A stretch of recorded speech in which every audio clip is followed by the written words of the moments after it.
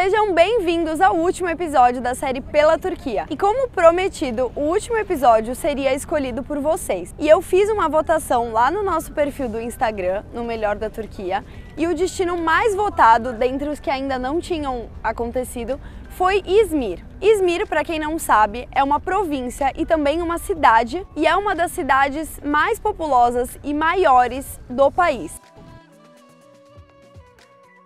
Província de Izmir fica localizada na região do Mar Egeu, aqui na Turquia. Hoje eu vim para cá de avião partindo de Istambul e o voo demorou cerca de 50 minutos.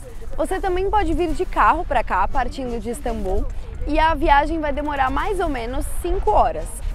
Além de ser uma cidade linda e agradável para você se hospedar, Izmir também possui uma localização estratégica para quem quer fazer passeios na região. Partindo aqui de Izmir, você tem muitas opções de outros destinos para visitar, sejam praias ou cidades históricas. Muitos turcos que conhecem o Rio de Janeiro dizem que Izmir é o Rio de Janeiro da Turquia. Realmente, uma semelhança a gente vê aqui, o calçadão de Copacabana.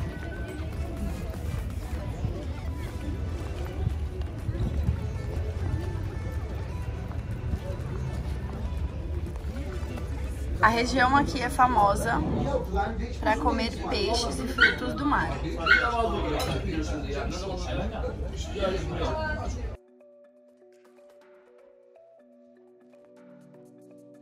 A gente pediu um balde com 25 mariscos e aqui nesse restaurante a água é de graça.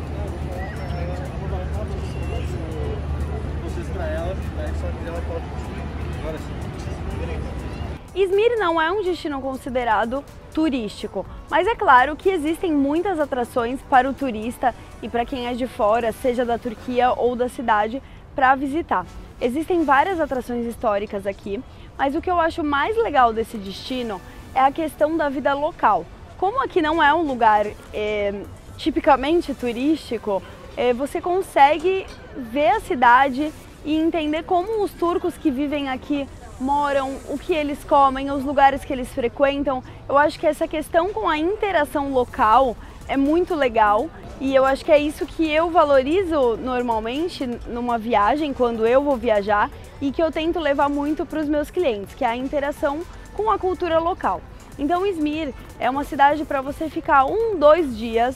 É, você tem muitas opções de bons restaurantes, tem muitas opções de cafés e bares. Aqui é uma, uma cidade onde a vida noturna é agitada, é considerada uma cidade boêmia, então é comum que você vejam pessoas é, bebendo cerveja durante o dia aqui, em qualquer lugar que você vai, em qualquer dia da semana.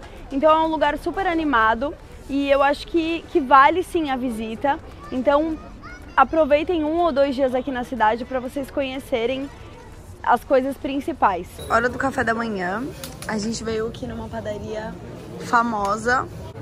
Aqui você pode sentar para comer ou você pode levar para casa, que é o que a maioria dessas pessoas estão fazendo.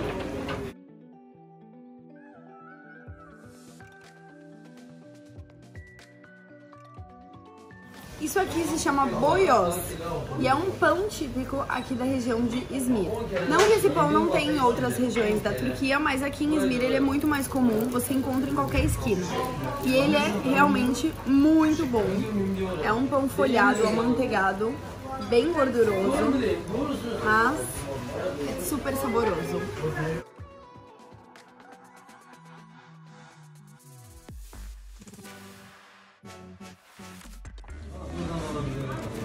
Essas quatro bolinhas aqui se chamam Izmir Bombaçã.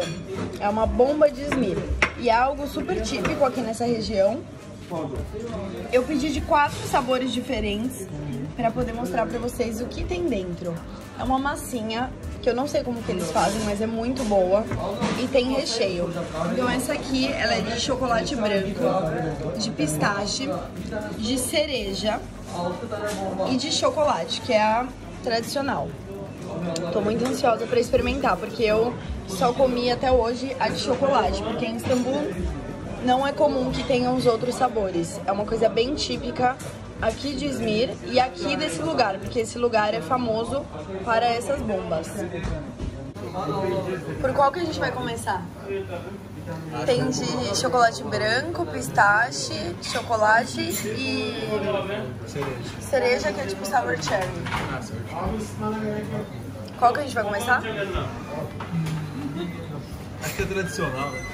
Chocolate? É. Abre aí a de chocolate, aqui, né? Bia.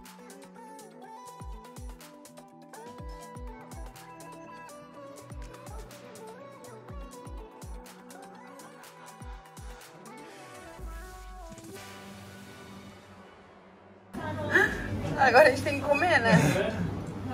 Agora vamos abrir a de pistache.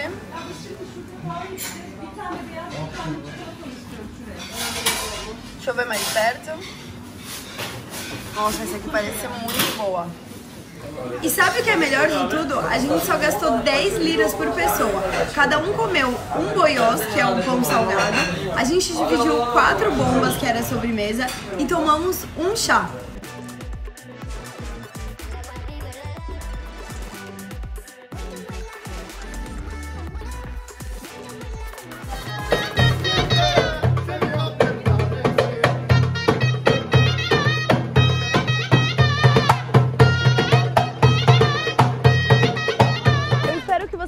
Gostado desse episódio e para quem não sabe, esse é o último episódio da série Pela Turquia.